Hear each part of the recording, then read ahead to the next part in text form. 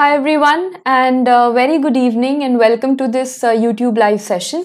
So I'm Dr. Preeti and today for the upcoming exams I've just got a mixed bag of questions from pathology which is uh, going to cover general path, a little bit of hemat, systemic path. So a good mix of questions, just how you would get it in your exam. So uh, I guess we can begin and all the students who are joining us in this series of the five day lectures today, if you're joining us, then the previous three days have been extremely important tables that we've discussed. And uh, coming back to the feedback that I've got from the students has been uh, that you've benefited a lot from those table revision.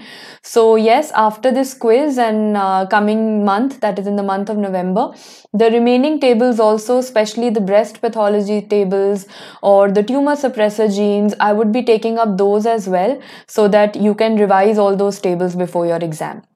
Okay, so uh, what do we have today? Today and tomorrow I'll give you a brief and then we'll begin. Today we have a quiz. It's going to be a slightly lengthy one because I've got a couple of questions for all of you. We'll I'll give you a question. I'll give you 15 to 20 seconds to answer. Then we'll discuss the question. Second, tomorrow we have a session again at 6 o'clock. This is particularly for the students who are appearing for the upcoming November INI CET because I'm going to discuss with you the must know. I'm going to give you a list of the must know topics that you have to prepare in the last 20 days. So I'll give you a list of that. I'll tell you how, a very short session, how you have to proceed in these last 20 days when it comes to PATH. And I'll give you a PDF also of all the topics that you need to revise in this last moment.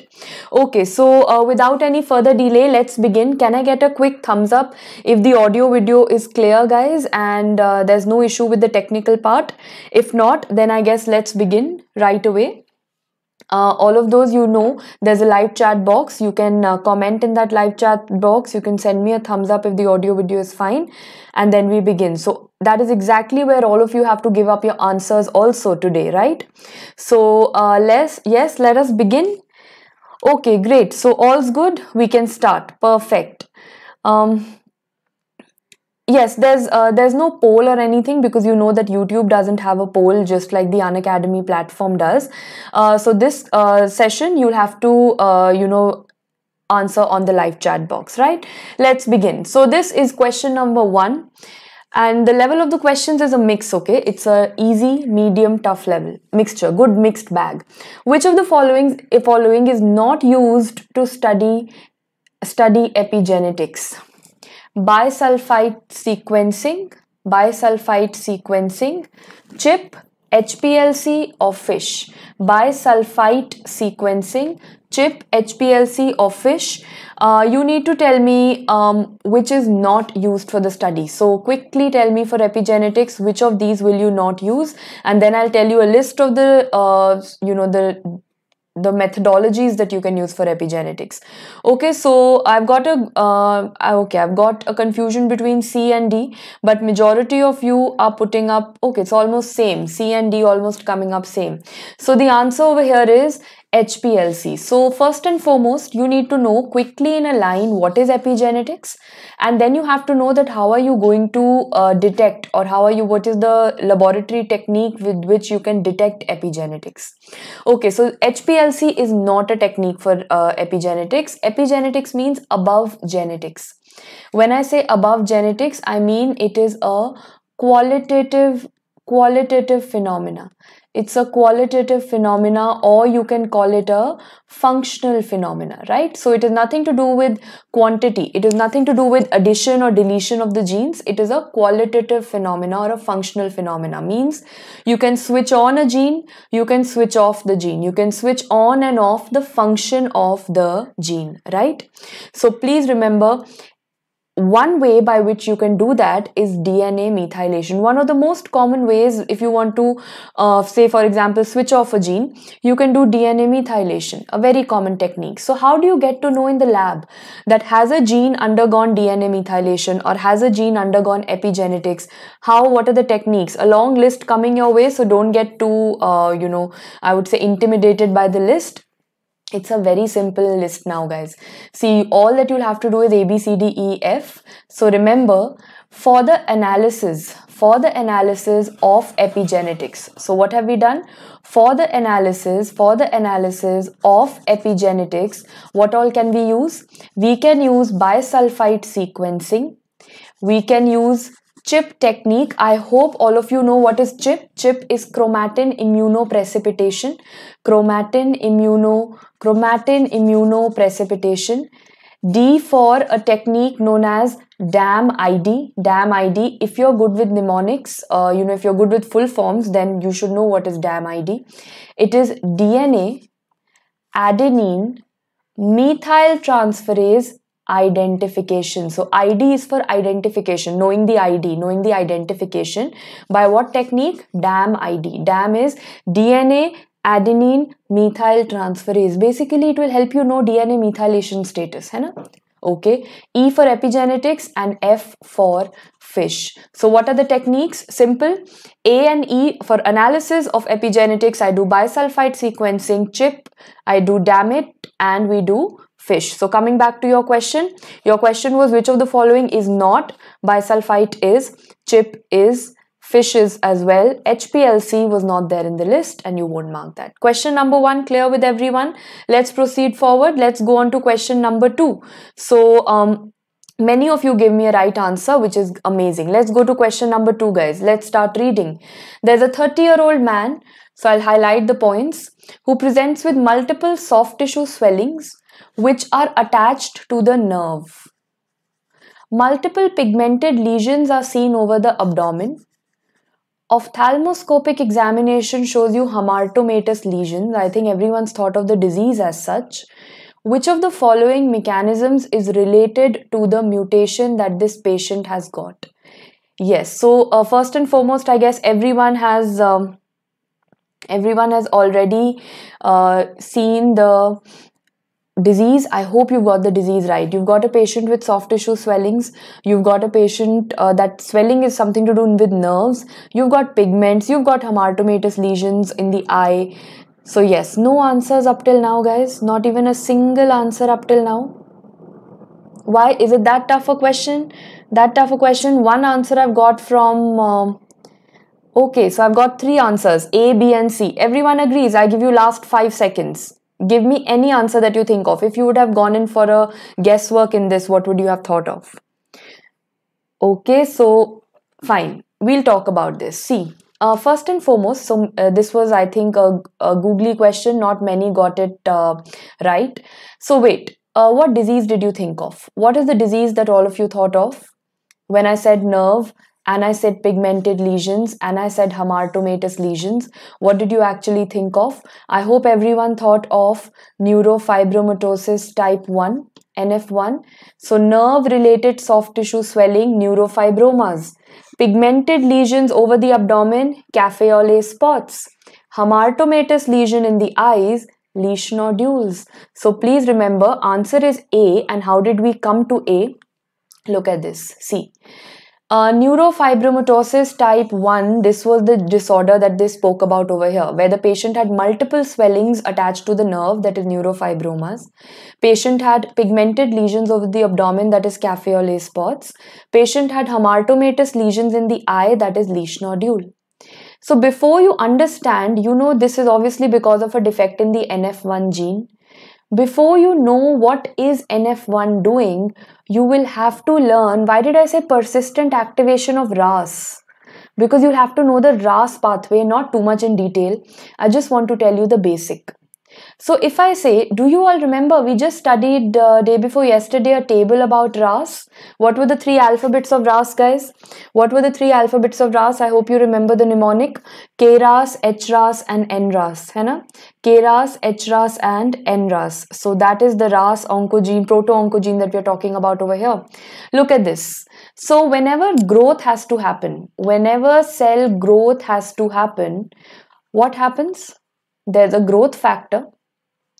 That growth factor will come and bind over here to the growth factor receptor. Inactive ras will change into active ras. Inactive ras will change into active ras. How? By the change of gdp to gtp so what happened? Inactive RAS has changed into active RAS. You have to learn the story from here only, then you'll understand the relation with NF1, okay? Inactive RAS changes to active RAS, and for that, GDP converts to GTP. So now tell me for the activity of RAS to remain intact, what is important? GDP remains intact or GTP remains intact? If you want to keep RAS forever functioning, what will you keep? GDP intact or GTP intact? Obviously, you will keep GTP intact. So can I say that if I go and break this GTP, the activity of RAS will also be gone. If I break the GTP, RAS will go back into its inactive state. Do you agree? Yes. So exactly. In your body, normally, every time growth is not happening. Na? When the work of RAS is over, you tell RAS that, okay, come back to your inactive form. When you want to make it active, you give it GTP. When you don't want it to be active, you bring it back. You break the GTP. So remember, every RAS molecule, every RAS molecule has its own GTPase activity. It says, it's very sensible. It says, when my work will be over, when my work will be over, I'm going to uh, come back into my silent state. So every RAS knows breaks the break the GTP and come back to inactive form. You know what this GTPase is activated by? It is activated by GAPs. GTPase activating proteins. Remember GTPase activating protein. So now look at the story. I'm taking you back to that. I know this is a tricky one, but this is important. INI CET questions can't be that easy. Look at this. Taking you back over here. Can I say that if I have GAP, GTPase activating protein that will activate the GTPase, that will activate the GTPase and that will break this GTP? Agreed? GTPase activating protein will activate the GTPase, will break the GTP and RAS will come back to its inactive form. Does everyone agree with me up till now? Neurofibromin 1, NF1, is this gap. NF1, if someone asks you what function does it have in your body, it's actually a gap. It activates GTPase, breaks the GTP, brings the RAS back. However, if I say, if I say that someone has a loss of function of gap, gap is not act, is not functioning. Like NF1, NF1 is not functioning. Tell me now, give me a yes or no, everyone. NF1 is not functioning, gap is not functioning. Will GTPase be activated? Will GTPase be activated and will GTP be broken? Yes or no? If gap does not function, will GTPase be activated and will GTP be broken? It will not. It will not be broken. So will RAS come back into its inactive form? Will RAS come back into its inactive form? Yes or no? It will not. Can I say that if there is a loss of function, this means RAS is forever going to be active. Persistent activation of RAS is going to occur, and exactly what happens in NF1. Everyone agrees. NF1, everyone agrees to this. NF1 is a gap. Gap means GTPase activating protein. If there is no NF1, a loss of function, or gap, there is a loss of function, GTPase will not be broken. RAS will never become inactive. RAS is forever active and pro- forever proliferation is happening. That is why the patient is going to show you neurofibromas and all those lesions that you saw. So, taking you back to the question, do you agree the answer was persistent activation of RAS? Got it, everyone? Tough question, I know, but I hope you will start thinking in terms like this because we are dealing with obviously a central institute exam paper. So, we need to go a little edge higher. Okay, let's move on to the next question. I think this is everyone's favorite by now because I've answered this so many times on Telegram. You've got a flow cytometry dot plot, and I want you to give me the disease that they're trying to show you by this. So you need to analyze this flow cytometry dot plot, guys, and we need to take it up with the disease. So your options are LAD1, LAD2, Bruton's gamma globulinemia, and hyper IgM syndrome. If you know how to read a basic flow cytometry dot plot, you will get it right. Even if you've attended my Telegram discussions, you will definitely get it right. Okay, so here the answers that I've got are predominantly D up till now. Hyper IgM is what everyone is thinking. Yes. So you are right on that. The answer to this is hyper IgM, but how did we come to that conclusion? So here you've got two dot plot charts, one and two. So let us let us first understand how do you interpret a flow cytometry dot plot. You'll you know like over here can you see the examiner has divided it into four quadrants. So like this you'll get four quadrants. I've drawn it for you. You'll get four quadrants. You'll have a y axis and an x axis so some marker will be written like CD10, CD19, some marker will be written on one axis, another marker will be written on another axis, say CD19 and CD20 markers are written. Okay. Now tell me that in, do you agree that in this column, in this column, now just go by every column you will make the x-axis and the y-axis okay? So do you agree that this column or this square this population is very high on the y-axis? And it is very very ahead on the x-axis also. This area is high on the y-axis and ahead of the x-axis. So can i say it is going to be a double positive? Double positive yes okay. In this region in this region x-axis is also very low y-axis is also very low. Can i say the both the markers are negative? Double negative? Do you agree? Do you agree with me? Double negative? Okay. Coming to this one who will answer? Double positive double negative or m1 positive m2 positive? What is your take on this? What is your take on this? What is your take on this guys? Positive negative which one this particular quadrant. What should i write over here? It's ahead on the x-axis but it is very low on the y-axis. So can i say this is m2 positive? M2 positive m1 negative. Do you all agree? Very good. I've got the answer. M2 positive m1 negative and the last one over here it's very high on the y-axis means m1 positive and it's very low on the x-axis so it is m2 negative. So that is how you interpret. So you've got a double positive quadrant a double negative quadrant and single single positive quadrants also if you know this flow cytometry technique you can now interpret this chart. So i've i know many of you are saying that ma'am by now we've mugged up this chart. Because this has gone all over social media and all of you have taken screenshots from every app and posted it everywhere. So by now you've kind of mugged it up but that's not how you should go for it. See what do you see over here? What is written over here on the y-axis? Ssc that is side scatter. Side scatter and what is written over here? FITC FITC is the name of the dye okay? So you'll have things like FITC PE these are all dyes. These are all colors. That is not your concern. You have to see what marker has been written. CD19 has been written. CD19 is it a B cell marker or is it a T cell marker? It is going to be a it is a it's a pan B cell marker CD19 so what have they done? By using a side scatter by using a side scatter and a CD19, they have highlighted the B cells for you. They've labeled it. See, examiner has labeled the B cells also for you. And he's basically told you the red color. He's told you the red color of the B cells and highlighted it. How has he picked it up? He's picked it up by CD19. Okay. Come to the next flowchart, the next dot plot. Look at this. Look at this. What do you see out here? You see that uh, I told you to see the markers. On this axis, you have CD40. On this axis, you have CD19. Okay. So now you are interested in those red color cells, the B cells. So you pick up this area.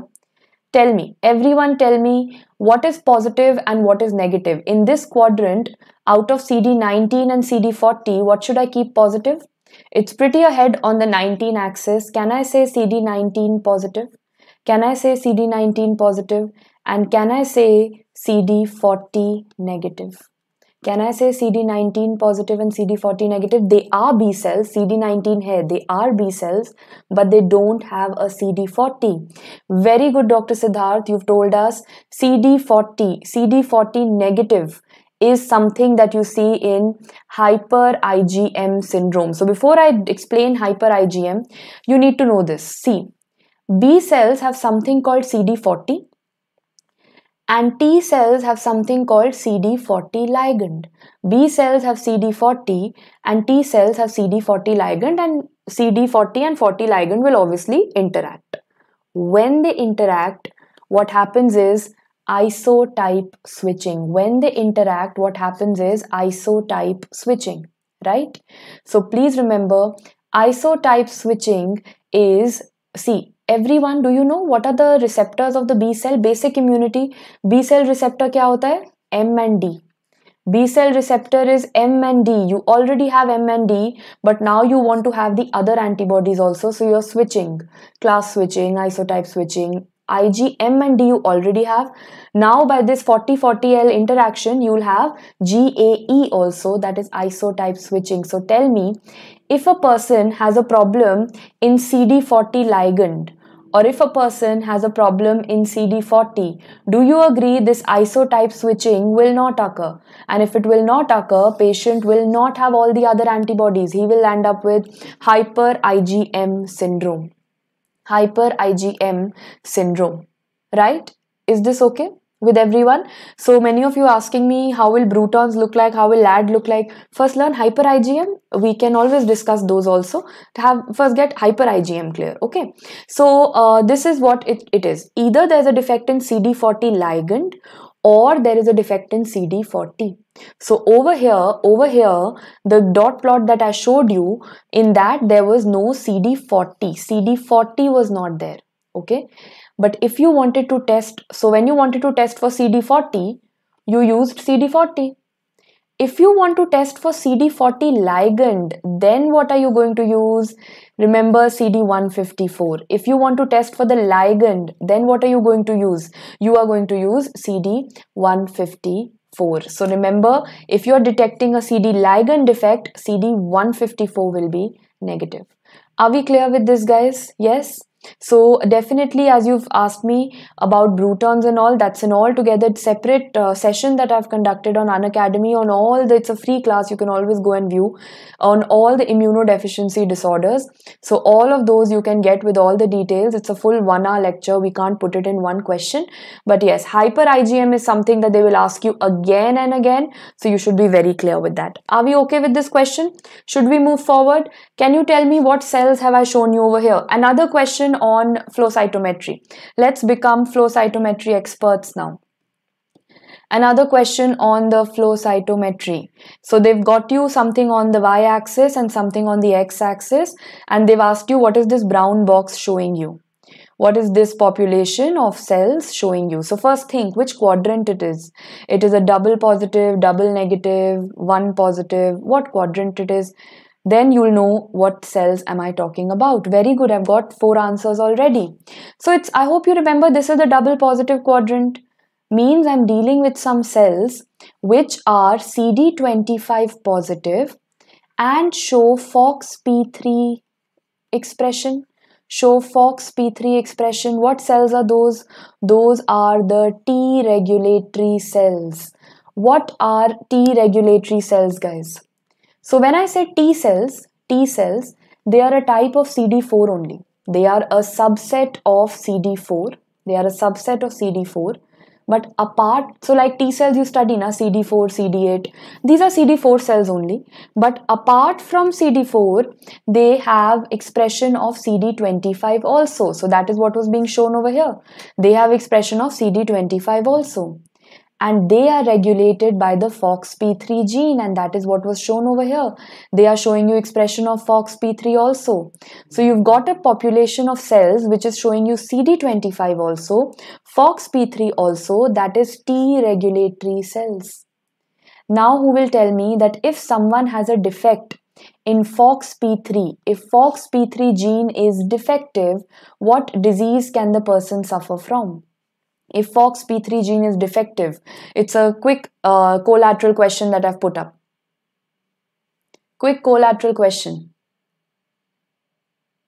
Yes, FOXP3 gene is detected on uh, or FOXP3 gene is defective in IPEX. It is defective in IPEX syndrome. IPEX syndrome. Should we do quickly the full form of IPEX syndrome, guys? The full form of IPEX syndrome. I for everyone, I want everyone to answer immune dysregulation. I for immune dysregulation. P for so immunity gone, immune dysregulation. P for polyendocrinopathy polyendocrinopathy. E for enteropathy. E for enteropathy and X for X linked disorder. It's an X linked disorder. It's very easy to learn. FOX, IPEX, all the X sounding things come together. So, FOXP3 gene, FOXP3 gene is going to result in, uh, defect is going to result in IPEX syndrome. IPEX syndrome. Dr. Usha, uh, prior to this, you've asked me that where will CD154 be expressed? No, see, CD154 is a CD40 ligand, na? so ligand is expressed on a T cell, so it will be expressed on the T cell, right? Okay, so very good. Everyone got me a correct answer on IPEX also. Were you able to identify these charts? Very well. So now uh, I've given you a brief for those who've never learned about uh, flow cytometry after this class on the on the youtube channel type flow cytometry see that entire video. It's something very very important for the ini cet exam.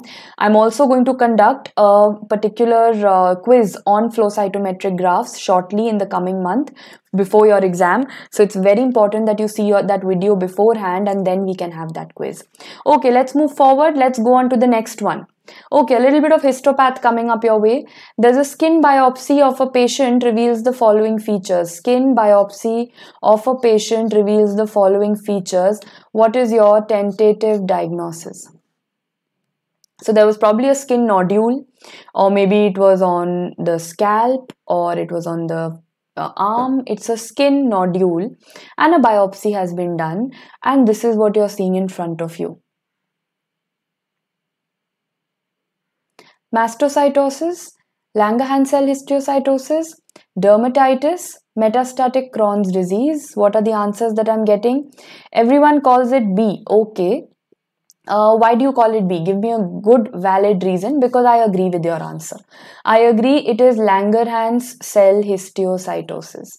It is Langerhans cell histiocytosis but you need to give me a valid reason for this what did you see in this photo that was very very prominent towards it one answer i've got coffee bean appearance but one answer i've not got there's one more thing that should have pointed towards it okay so i'll show you the image in an enlarged view let's look at this picture in zoom uh, maximum magnification okay can you see over here can you see over here that we have we have a cell and that cell is showing you a groove. We have a cell and that cell is showing you a groove, which all of us call, call as coffee bean nucleus, which all of us call as coffee bean nucleus. Number one, but I'm not getting the second part, guys. Did you all miss out on these orange looking cells? Did you all miss out on these orangish looking cells having 2 2 nuclei? What are they? Eosinophils. No one mentioned I I I hope I've not missed out. Okay, Dr. Vikas did. Yes. Guys, eosinophils, that's another very, very important point that you have to note over here. Eosinophils. Because if you're thinking of coffee bean and you're thinking of LCH, see another nucleus over here where you can see a line going through it. Okay, which type of LCH will you now think of? If you're thinking of LCH and you're also seeing a lot and lot of eosinophils, you will think of eosinophilic granuloma. Yes, everyone agrees? Eosinophilic granuloma. Great. So answer one more question. Which of the following immunohistochemical marker will you use for confirmation? CD1A, CD207, HLA-DR, S100 you think that okay this is LCH which of the following markers will you use for the confirmation? Quick answer on that guys. It's an easy question. Okay also remember you are appearing for the INI CET exam which has clubbed AIIMS and PGI and NIMHANS and everything JIPMER. So maybe you could have different patterns also of the paper. You could have different patterns of the paper guys. Think of the pattern also. Don't think of only one answer. Think of other answers also. You know, if you're thinking of LCH, why did I get you this question? Because, because all of these are immunohistochemical markers that we use for LCH. That is why I was saying do not think of it like a single best answer only, think of it like a PGI paper also. So, what are the markers of LCH? CD1A, I think everyone knew. CD1A is the famous one. CD207 is something known as Langerin. The other name for this is Langerin. So, you know, by Langerin, you will anyway remember LCH. So, Langerhans cell histiocytosis. So, CD207 even HLA-DR and S100 are positive. So you always have to learn these four. So never jump to just one answer. Everyone saw CD1A and didn't read the others. So please remember CD1A, CD207, HLA-DR and S100. Are we clear with this? All of the above was option over here. I could have given you all of the above as an option but then you would have marked all in you know and not thought of it like this. Now you'll never forget all four were correct options. Last question. What is the gold standard microscopy that you'll use for the diagnosis of lch what is the gold standard uh, standard that you'll use for the diagnosis light fluorescent electron or phase contrast i think this is an easy one this is not uh, a central institute exam level question it's pretty easy we will use the we will use the electron microscopy. We will use the electron microscopy. So what do we see? Yes, very good. Everyone's given me a correct answer. What do we see on electron microscopy are these tennis racket appearance. We see the very classical tennis racket appearance. Are we clear with this, everyone? Tennis racket appearance. So everything about LCH is done. You can have coffee bean nuclei, you can have eosinophils, you can have all those markers CD1A, 207, HLA-DR, S100 and electron microscopy is the gold standard which shows you tennis racket appearance. The story is not over. Something that I taught you day before yesterday in the tables. LCH shows you which mutation. LCH shows you which mutation and this is what I've already taught you day before yesterday so quick answer on that and you could read it like this you could read it like this. Left to right right to left. Both diseases show you same mutation. Lch langerhans cell histiocytosis and hcl hairy cell leukemia show you BRAF mutation. Do you all remember this? BRAF mutation. This is what we studied day before yesterday. Yes. So all about LCH over. Let's go to the next question. Okay. So this is just to show you that coffee bean nuclei, coffee bean nuclei are going to be seen in LCH. So you'll never forget it looking at the image. Okay, coming to the next question, a simple one-liner question, quick answer on that. You've done it in dermatology so many times. Ghost cells are seen in ghost cells are seen in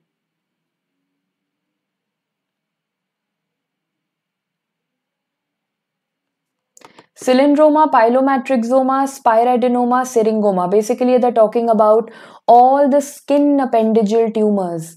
All the skin appendageal tumors have been mentioned over here. You need to tell me where am I seeing the ghost cells. So remember, I'm getting a confusion between Okay, many of you are answering D, syringoma. No, no.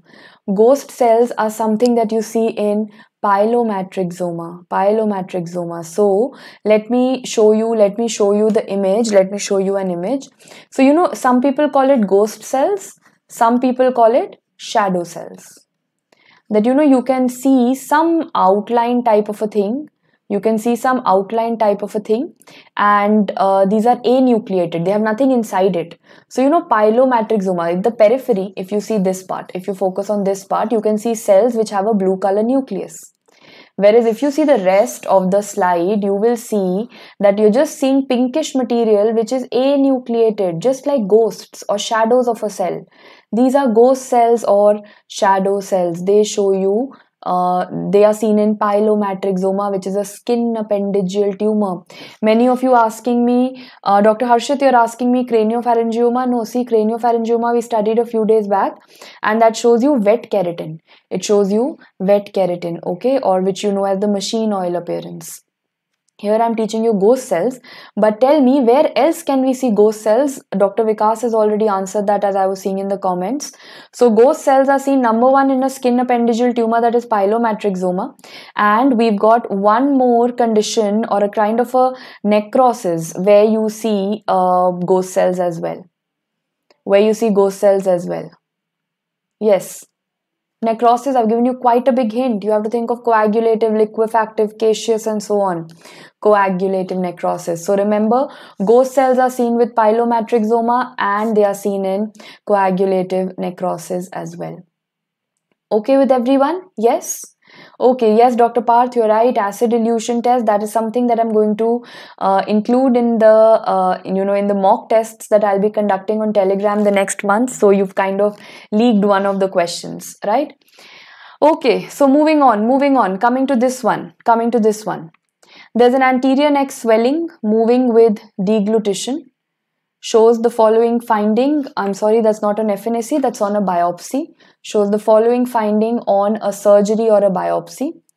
Patient gives history of long-term use of antibiotics and what is the reason for this pigment that you see over here. So you've got an anterior neck swelling, you've got an anterior neck swelling. They've done a surgery and that swelling is in front of you. I hope you've understood what organ is this because moving with deglutition and the shape of the organ very well tells you that we are dealing with the thyroid. It's got a brown black color, and you have to tell me what is the reason on the basis of the history of the patient that he or she has shown you this black one. Yes. So you've got minocycline usage, melanoma, age related or hemosiderin deposition. So Yes, remember this condition is known as black thyroid. You call it black thyroid. So, you know, when you will put a needle in it, like I said, that you could also do an FNAC or you could see the same on a surgery. On a surgery, you are seeing it with naked eye, you're seeing the thyroid is completely black. On FNAC, if you would have put a needle inside this thyroid, you would have got a smear which would have shown you a lot of brown black pigment. So you would have wondered, you know, as soon as we start seeing brown black pigment anywhere in the body, the first thing we think of is melanin. You know, you'll start thinking, is it a melanoma? Is it some, um, you know, melanin related tumor, mel- melanocyte related tumor? But over here, patient give you gave you a very long term usage of antibiotics. Let me tell you, minocycline is a drug which has been associated, long term use of minocycline has been associated with black thyroid. Why and how is still a very controversial uh, pathogenesis but definitely definitely this is causing black thyroid a pigment uh, many books have related this pigment to hemosiderin many have related it to lipofuscin so like i said this is quite a debatable topic but definitely you should know about the black thyroid minocycline or any long term antibiotic use that can cause Moving on to the next question. It's a GIF question, and I just want all of you to tell me what this particular um, machine or instrument is. I've shown you earlier on the Unacademy platform, but I could never show you the GIF over there. So I've got the GIF because it works well on YouTube. So this is exactly how this machine works. You see some plates inside it which are which are uh, going left and right, which are uh, you know uh, constantly. I don't want to use the word, otherwise I'll tell you the name of the machine also. So tell me the name of this machine. Not given you options purposely. I want all of you to think Perfect. It's a machine in the blood bank. It's a machine in the blood bank. Yes. This is a platelet agitator. So, you know, all of you know this. Platelet. At what temperature do you keep it? And for how many days do you keep it? And in what machine do you keep it? This is the machine in which you keep platelets. So constantly platelets, the bags are going to be kept here, the bags are going to be kept here and constantly the platelets have to move. Constantly they have to move guys. Okay, so please remember, please rem yes, constant stirring, very important. So please remember the temperature at which the platelets are stored are going to be anyone 20 to 24 degrees, 20 to 24 degrees 24 degrees. And what is the uh, time for how many days can you store the platelets?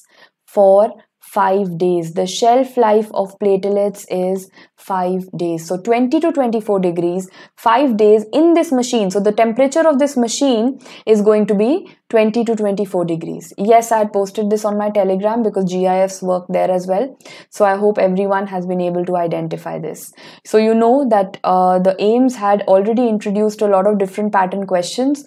So this is a kind of question you can always expect.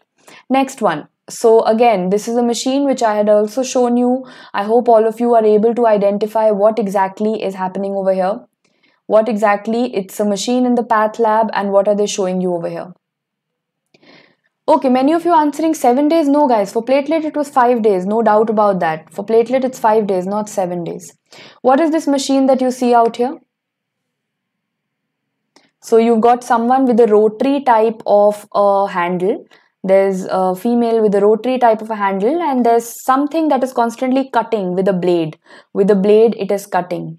So this is a microtome. This is a microtome. And if you if you have to actually uh, you know um, call it by a more precise name it's a rotary microtome. It's a rotary microtome that they are using over here. What do you use it for when this is how you make your slides. This is how you are going to make your slides guys. Remember this is how you'll make your slides. So you've got a paraffin block and you're going to cut that paraffin block. You'll get a section. So do you see what is happening if you show you over here? Do you see constantly constantly the paraffin is being cut. Your tissue is being cut constantly and you're getting it on slides. You're getting it on slides. Are we clear with this? Yes everyone I guess there's a little bit of a lag in the options or the answers that I'm getting from all of you. Uh, but um, Okay, uh, Dr. Furkan has asked me what is the purpose of platelet agitator? If you don't keep the platelet under constant agitation, you are going to uh, start, uh, you'll start getting platelet aggregates. So you don't want that. You don't want the platelets to aggregate. So you're constantly going to keep it under a, an agitation or a movement so that they stay away, they don't aggregate. That is the purpose. I hope this machine is also clear with everyone. This is a, this is a microtome. Uh, to be very precise, it is a rotary microtome. Let's move forward. Okay, can you tell me what technique is this and what stain has been used? What technique is this and what stain has been used?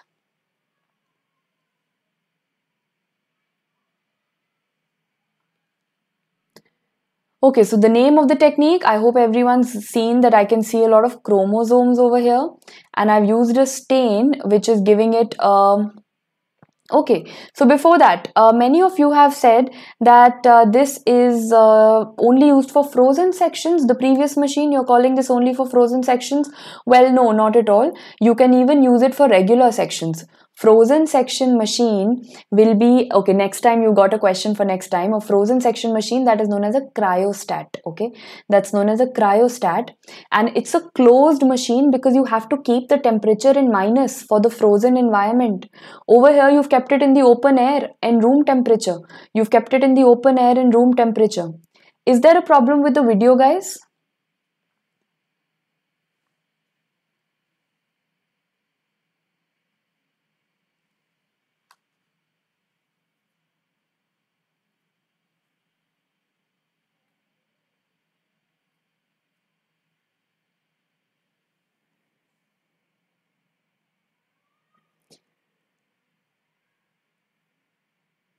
Okay, is there is there any problem with the video or is it sorted now?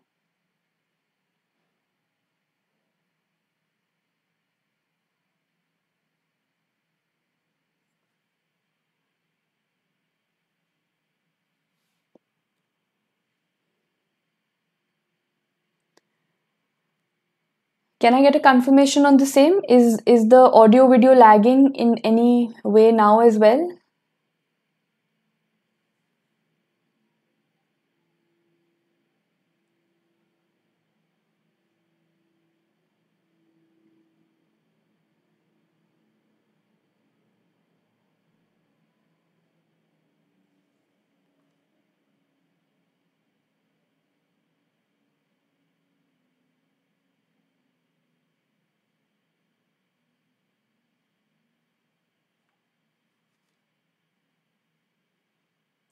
Is it is it okay now, everyone?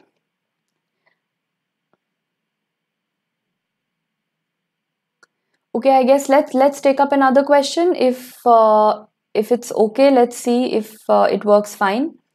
So now let's begin from this slide again. I hope everyone got the previous two right. I hope everyone got the previous two right. That is, this was a platelet agitator where you are using it to agitate the platelets or keep it constantly under agitation. Secondly, this was a rotary microtome. Many of you were calling this the cryostat. No, I'll show you a picture of a cryostat in the next class. In cryostat, you have to keep the temperature in minus to keep everything in frozen state. So you can't keep it like an open machine in room temperature, right? So this is just a rotary microtome. Okay, next, what is this technique and what is the stain? So I hope now it's all working well. So the technique is, um, many of you calling it fish. Uh, but you know this is you're right it could be fish as well but the stain that you've used over here this is also a stain that we use for a type of karyotype if i say that this technique is a karyotype if I say that this technique is a karyotype, then which stain are you going to call it? Then which stain are you going to call it? This will be known as a quinacrine stain. This is a quinacrine stain. So every time the karyotype doesn't look black and white, every time the karyotype is not going to look black and white, Karyotype can look fluorescent also. Why? The chromosomes can look fluorescent because you've used a quinacrine stain. That's a fluorescent stain for which you'll be needing a fluorescent microscopy. Yes? Uh, yes, uh, you're right, guys. I think there's a little bit of a lag because of which I'm receiving your messages a little late. I do have my eye on them, but I'm receiving your messages a little late because of the lag. But I guess we can continue, uh, right? Okay, so um, Q banding exactly. This is known as this is known as Q banding.